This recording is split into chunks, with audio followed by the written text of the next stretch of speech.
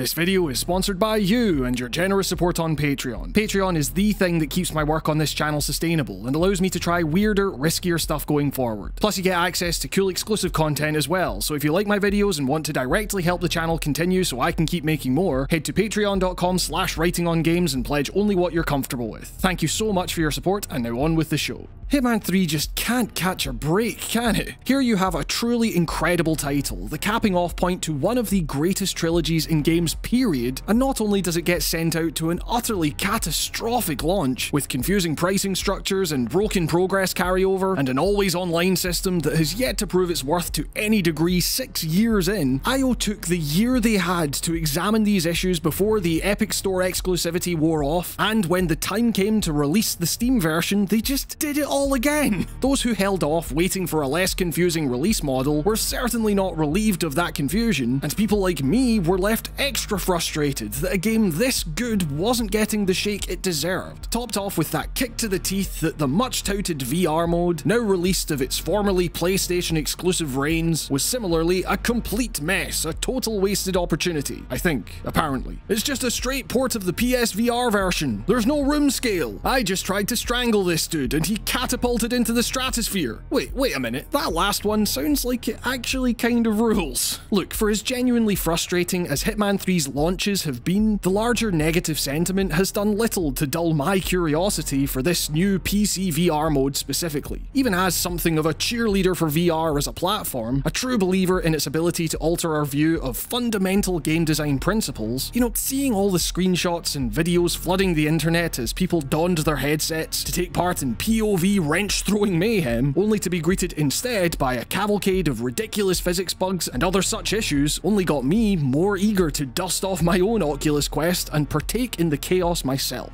I knew there was a lot wrong with this thing from the offset. Some of its numerous stumbling blocks are apparent without even putting on the headset, but after spending several hours navigating around those issues, it became clear that there is something buried deep within the rubble of very real problems that I kind of felt the need to uncover before I could pass judgment on this thing in full. But in order to get to that glimmer of promise at the mode's core, turns out there's a lot of rubble that needs moving. Because don't get me wrong here, this thing is totally busted in so many ways. To start at a very broad level, I guess what a lot of complaints I was seeing, outside of basic performance stuff, which is bad enough on its own, centered around a kind of wasted potential here. And sure, if your vision of a Hitman VR mode was to be opening your attache at the top of the clock tower and physically piecing together your sniper rifle before lining up and taking the shot, there's a whole host of reasons why that just isn't going to happen. Disappointingly, even with the added support of dual VR controllers, as opposed to the PlayStation PlayStation's DualShock or DualSense only setup, this is still very much a button-based framework here. Accessing inventory, reloading a gun, hiding bodies, crouching, blending in. These aren't things you physically do here. They're mechanical states that you activate by pressing A or B, and even then, they aren't particularly reliable, certainly not intuitive. For example, your instinct might tell you that holding a wrench is enough to unleash a world of pain on your enemies. You've already gone through the hassle of collecting the wrench, which requires you to grab the item, then look down at your chest, wrist, I can't really tell, and hope that the inventory orb pops up, which seems to only rarely happen when you're crouching down, and then accessing the inventory when you need the item later, which is a separate button, then scrolling through like normal, then holding onto the grab button lest you immediately drop your item upon leaving the menu. All sorted, right? Hammer time. Well, no, because swinging away like a madman will only lead to a frenzy all of its own, as your foe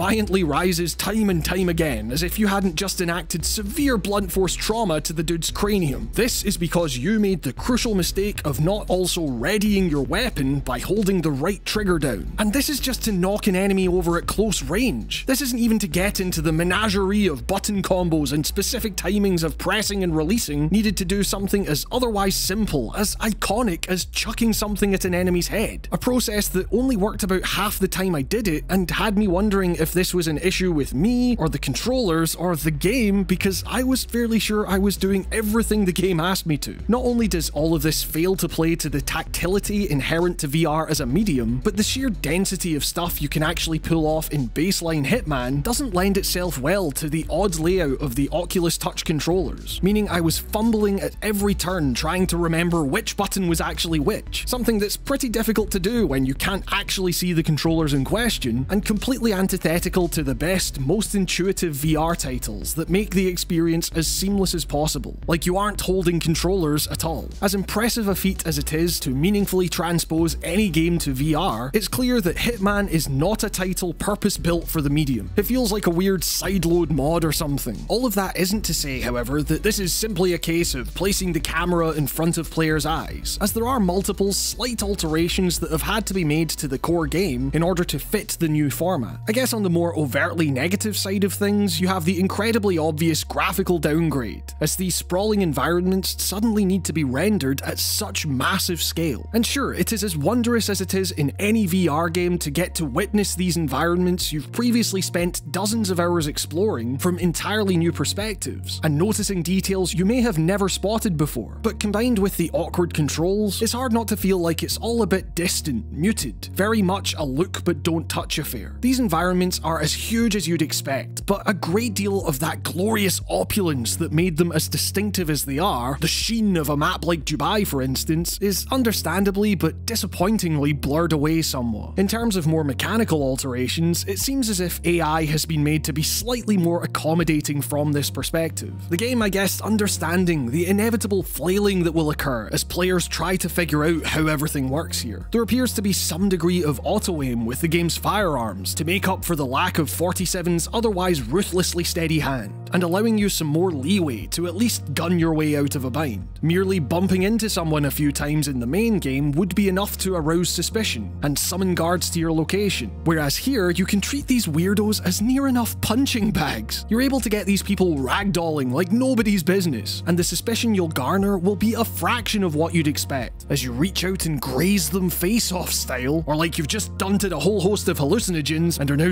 seeing this world for the simulation that it really is, man. And the overall result is a truly odd sensation, seeing that familiar splendor of VR make itself apparent as you gaze upon these still very detailed environments, but contrary to what the impressive scale of a map like Sapienza would have you believe initially, you're just getting right up close to these worlds that are about as far from living and breathing as you can possibly imagine. These may be quote unquote normal places you can wander around, filled with quote unquote normal people, that is to say civilians, but in reality it feels anything but normal. It feels like you've entered an often stunningly crafted LEGO world. Impressive in stature and scope, sure, but lean on it the wrong way and the whole thing comes tumbling down around you. And here we get to the crux. You know, I struggle to think of a scenario that's more Hitman than that. Look, I know Hitman VR has problems. I understand it's not a good VR game, so to speak, but it is about the most Hitman version of a VR game I could possibly envision. And that's why I can't help but still kind of love it. As much as some commenters have gotten weirdly mad at me in prior videos for apparently not playing these games right, because despite getting suit-only Silent Assassin on a whole bunch of these maps, I tend to instead feature footage of me throwing people off of rooftops dressed as a clown, or endlessly punching a terrified, drugged out Berlin crowd. Like it or not, Hitman is a very funny game. It understands and plays into the absurdity of dressing 47 up as a tattoo artist, or giving a weirdly euphemistic house tour, or busting out a sick drum solo before electrocuting your target or whatever. And at the core of the game's comedy is the idea of getting this weird, emotionless alien into the craziest, wackiest situations in these worlds full of their own weird aliens that do not think or act as normal human beings would do, and desperately flailing your way out of those situations. Now, Hitman VR might not allow for the other, itself very enjoyable side of that coin. The previously mentioned suit-only silent assassin approach, the ability to learn these systems inside and out and interrupt clockwork AI patterns to become the master assassin 47 really is. You know, the game's VR framework simply isn't reliable enough for that. Plus, the severe downgrade in draw distance means you probably wouldn't be able to pull off those sick cross-map headshots, even if you could momentarily wrangle the controllers into doing what you say. But for all that Hitman drops the ball in the kind of tactility you'd expect from a VR title, that desperate flailing is the thing that is suddenly placed directly in your hands. It is pure physical slapstick.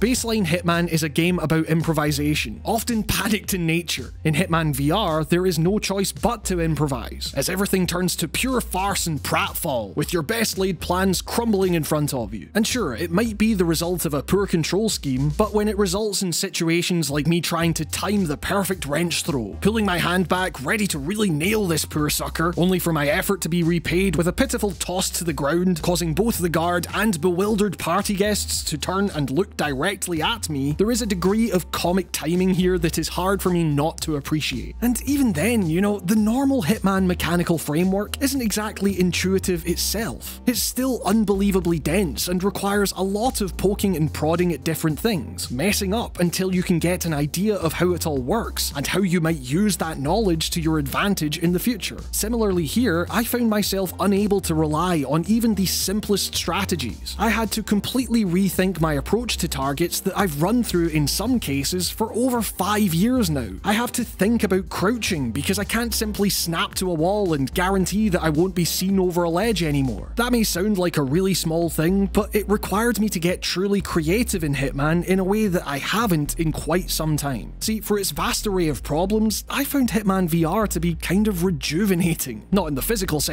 mind, the eye strain and motion sickness were a keen reminder of how out of practice I am with VR generally, but you know, look, I've been through these maps so, so many different times. I have exhausted every corner and mechanical possibility there is to see on these levels, and it is absolutely a testament to the game's complex web of systems intermingling among these spectacular environments that I can always load up Hitman and seemingly create a new story every time. But I know the nuts and bolts of this thing pretty much inside and out. Then Hitman VR comes along and suddenly I'm a complete fish out of water once more. The game flat out doesn't work in the same way I spent hundreds of hours learning previously. Now that doesn't mean this is a mode I'd ever recommend over the base game, not in a million years. But come on, no one's going to play it like that. This doesn't excuse the really blatantly shoddy design of many elements here, and it doesn't make the lack of a true room-scale VR Hitman experience sting any less. But it's a novelty, and a pretty fun one at that. And in amongst the copious jank and the slight mechanical changes made in order to accommodate even a move to VR this non-committal, there is still an eye towards the comic absurdity and disarray that forms a large part of what I so love about Hitman. Even though I won't be returning to this mess particularly frequently past the publishing of this video, for all the negative labels you could throw at this mode, I do think it counts for something that the last thing you could call Hitman VR would be inauthentic.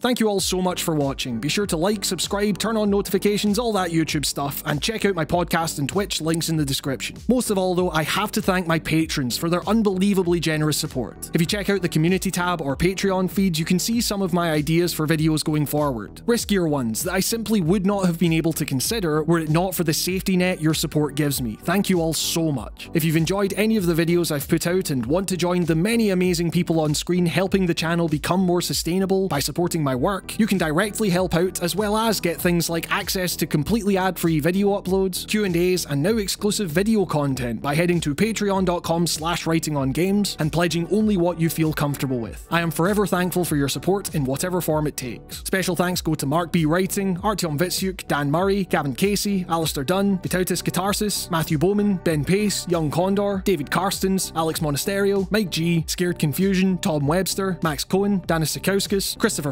Nicholas Villeneuve, Matthew Grover, Nelwyn Palacios, Ruth Natman, Charles J. Liu, Yogesh Deshpande, Leah Chinello, Captain Knusplich, Timothy Jones, Bryce Snyder, Lucas, David Björk, Winter, The Nameless Guy, Tommy Carver Chaplin, Dr. Motorcycle, Shardfire, Lynn Browning, Calliope Ranis, Spike Jones, Ocean Lawson, Charlie Kimball, Jordan Midler, and Charlie Yang. And with that, this has been another episode of Writing on Games. Thank you all so much for watching, stay safe, and I will see you all next time.